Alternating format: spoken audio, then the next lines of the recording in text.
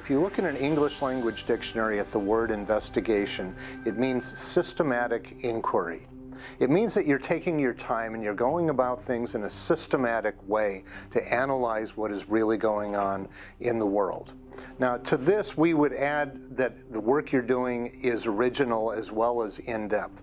So systematic, in-depth, and original reporting is investigative journalism.